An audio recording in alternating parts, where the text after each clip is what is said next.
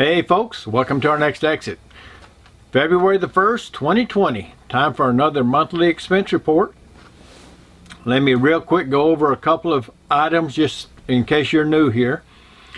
We do a monthly expense report every month and in it we include all of our expenses with the exception of going forward we're not going to include any costs that are associated with our YouTube channel like if we buy new camera equipment or uh, any expense associated with that any charity or uh, birthdays Christmas any of that stuff is not included we own our motorhome we own our car and we purchased a membership to Thousand Trails that cost $4,000. That's a campground membership organization.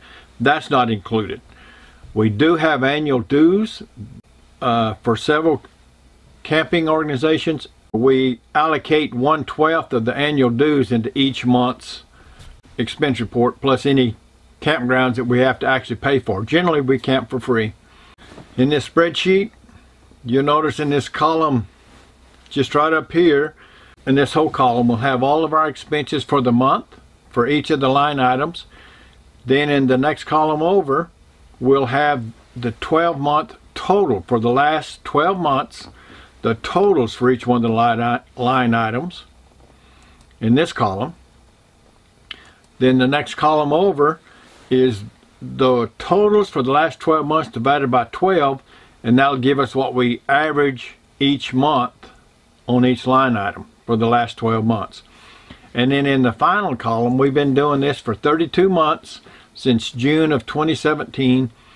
That's the totals for each line item divided by the 32 months. So for the, uh, to give you the monthly average over the last two and a half years. We also keep track of this column up here. It's our daily fuel cost per night, the average daily fuel cost per night. So that just takes uh, whatever we spend on fuel for the month and divide it by the number of days in the month to see what we're averaging per day. And then right below that is the same thing for campground. This is the most interesting one and we'll go into this number here of our average for the month.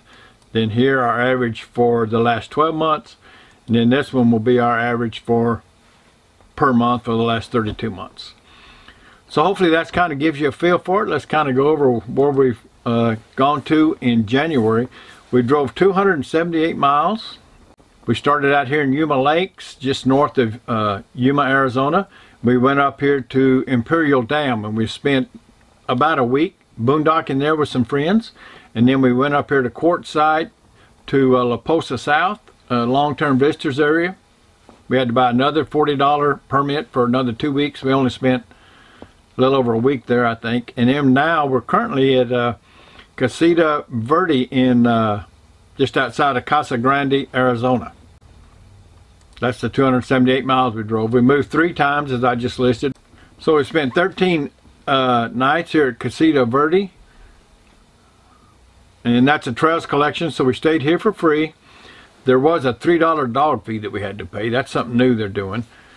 And we spent 18 nights at uh, outside of Thousand Trails. Two of them are at Yuma Lakes up there by Yuma. Those are RPI parks. And we paid $10 a night to stay in RPI parks. We spent six days at Imperial Dam, in Imperial Dam boondocking. And we spent 10 days at uh, La Posa LTVA long-term visitor area just outside of Quartzsite and both the the Imperial Dam and La Posa we had to buy a $40 permit. We spent $210 for uh, fuel and once again let me show you how this works. You can go to Our Journey in Miles. Uh, Mark and Sue have a website there that you'll see their TDS logistics uh, video and explains it very well so I'm not even going to go into explaining how it works. Uh, you can sign up over there, watch their video, and if you like it, sign up over there. But it's a huge savings, uh, in our opinion. Driving from uh, Quartzsite over to Casa Grande, we stopped at Love's and bought fuel. And on the diesel dispenser, it said $2.50. And then here's the bill we got. It showed $2.50 was the retail price. We got a discount of $44.75, right at 50 cents a gallon. They keep 10% of that, so they keep $4.48. We got charged $210. It was $2, $250 for 81 gallons. 210 is what we were charged. They debit right to your checking account. The credit price was 312 the cash price was 307 and we ended up paying 258 so pretty good deal check out our journey in miles if you're interested if you have a diesel rig and you buy a lot of diesel definitely worth uh, your time to research it and as you can see our diesel cost for this month was 677 a day we averaged 677 a day for diesel for the last month, we've averaged $10.60 a day for diesel, and since we started our journey, we averaged $11.48. And here's our average mileage. We uh, average 650 miles, and since we started, we average about 700. So 650 to 700, you can see, is our average mileage. And our average daily cost is right there. For camping, we spent $239 and as I said, we, we have a 628 for Thousand Trails annual dues, 214, and I think they've raised that up to almost 300 bucks now for Trails collection. So in June, we'll have to decide if we want to renew that one or not. And then 150 for RPI. Let me kind of give you an idea of these parks. Here's the parks we have for Thousand Trails. We've got 81 parks here. We can stay at any of these parks for free. And then we have Trails Collection, which gets us a hundred and something additional parks. And here they are. Uh, and most of those are free. Uh, we can stay in these parks from 1 to 14 days and then we have to go out and not stay in them for a week and then we can stay in them again from 1 to 14 days. There's about 20 of them, 15 to 20 of them that charge you $20 a day. They're a little bit higher end parks or more desirable lo locations. So for some of the parks you have to pay 20 bucks a day, but for the most part they're free. And then uh, we have RPI. And here's the uh, RPI locations. There's about 150 of these. And to stay at any of these, it costs us $10 a night to stay in the RPI parks. The 81 Thousand Trails parks cost us $628. The 110 uh, Trails Collection Parks cost us 215 and that's going up I think to almost 300 uh, currently. So when we renew in June we may have to make a decision if it, we feel it's still worth it. And then there's about 150 of the RPI parks that cost us 150 bucks a year. We add all those numbers up $992 divided by 12 and we put $83 each month into our expense report. Then on top of that we had uh, we made a reservation for one night at Buckskin Mountain and we weren't able to make that so we lost the $40 that we had to put down for deposit. And then Yuma Lakes uh, RPI we had two days there so we spent $20 $10 a night for those two nights and Casita Verde where we're at now we have uh, we paid six dollars that's we stay here free but the trails collection, it's a couple of them we've started running into a $3 dog fee. Uh, and that's that's something new that we just started seeing. I don't know if that's going to be at all the trails collection or just at uh, select ones. And then we bought two 14-day permits to stay on BLM land at the long-term visitors area. One at Yuma and then one up at Quartzsite. And those are $40 each, so that was $80. So a total of 229. For the month, we averaged 739 for campground fees a day. For the last 12 months, we've averaged a little over $10 a day. And since we've started, we're averaging about $8.50 a day for campground fees. Uh, as long as we're under $10, we're pretty good. We'd shoot for $5 a day, but I don't know that we've made, let's see. Oh, there was 277, 26. So we made it a number of days here in the summer. These are pretty much complete trails collection. They, I mean, thousand trails. So we do make it on occasion, but uh, here's what we're averaging, 850. For uh, motorhome repairs, we had uh, If you saw our last video, our convection oven burn out, we could have repaired that for about $25 and bought a little diode that uh, we found it, it was bad, we checked it out, and it seemed like that's what generally causes most of these convection ovens when they quit heating. That's the cause, but Pearl wanted to go ahead and get a new one that has some more features uh, where it cooks and reheats and defrosts, uh, measuring it internally. So anyway, we got a new one, it bolted right in, it took about 30 minutes to install it. it took an hour or so to get it out, but not too long to install it. We had our Aqua Hot service Generally, I service the Aqua Hot once every year to two years, uh, depending on how it's burning. But last time we had it done by Lazy Days, and they messed up so much stuff at Lazy Days, I wanted to have it uh, quartzsite. There was a, a gentleman from from uh, Aqua Hot that was there doing tune-up, so we went ahead and just hired him to do it and check it out. He said everything was in good shape, so that worked out good. And then we had two battery cables made for our coach batteries. I, the cables I had were a little bit smaller. They were closer to the size of my little finger and we needed something closer to the size of my thumb. I think it's 2 watt cables we put on there. And at Quartzsite it was, you know, a lot of stuff you can get pretty good deals on, but uh, we didn't get a good deal. We On the internet you can find the exact cable for like $15 and they charge us 37 bucks. But I needed them and it made a big difference. It, it, uh, the cables we had just weren't uh, heavy duty enough, big enough. And we, uh, our monthly average, as you can see, back in February of last year, we had a $10,000 expense at Lazy Days. That's going to fall off next month, so I'm real excited to see that come down. We are averaging $800 a month since we started our adventure in maintenance, motorhome repairs, and uh, the last 12 months is 1400 That's due to this right here.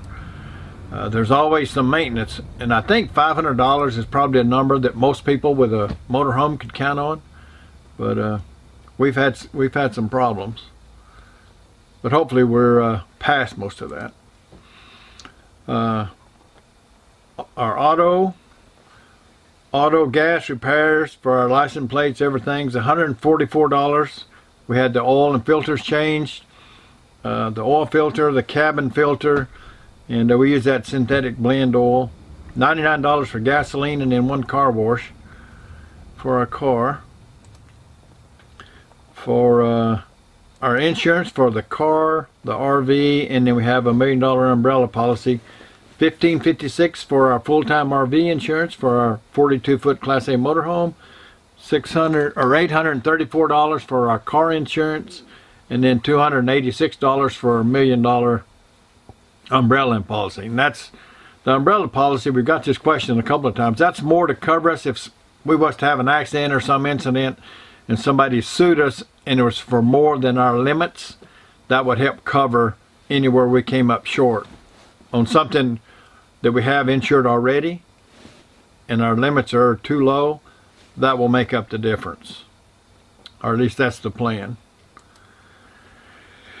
Groceries, this is one that gets a lot of people's attention. $1,055. Uh, we're averaging, since we've been doing this, 870 for the last uh, three and two and a half years, and 960 for the last 12 months.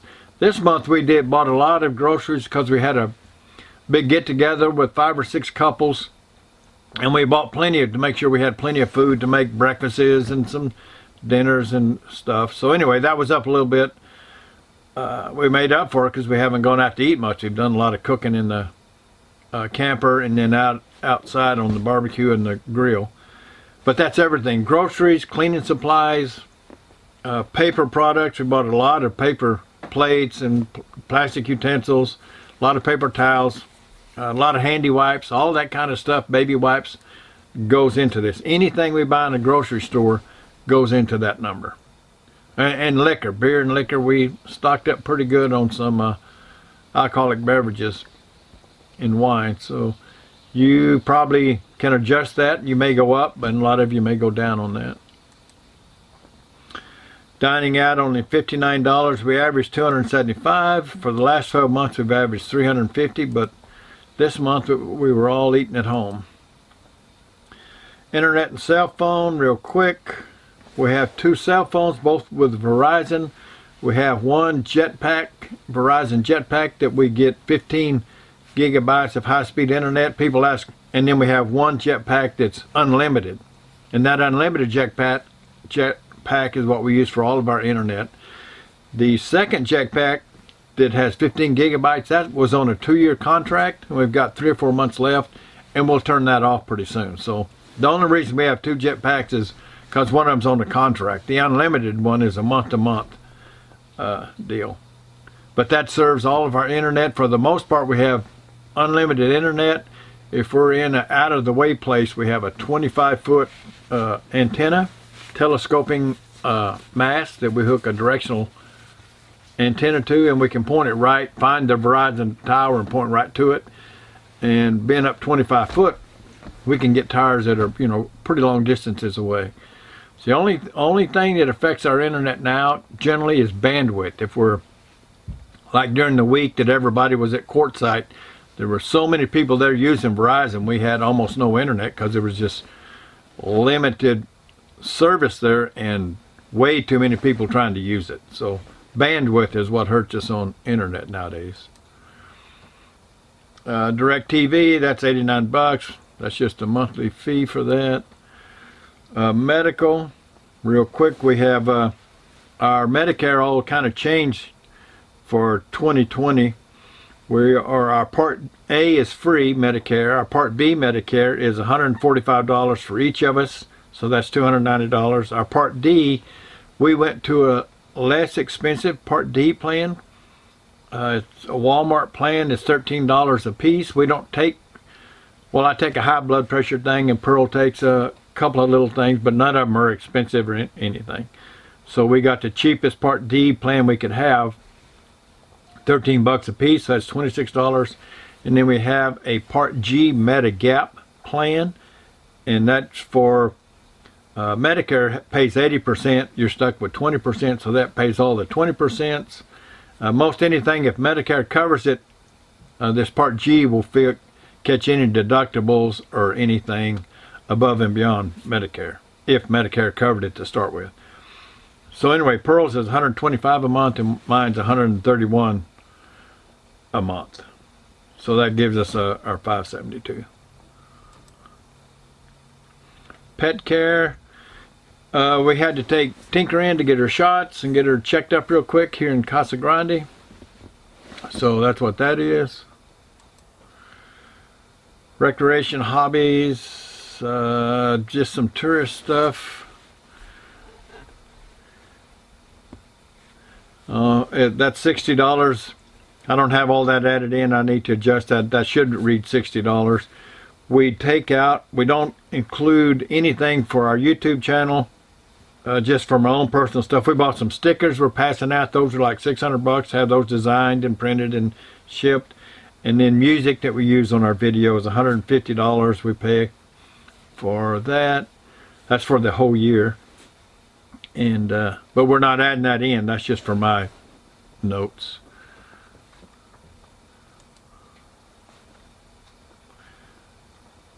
And then we zero for computer hardware, clothing, and mail. We didn't spend any on any of those.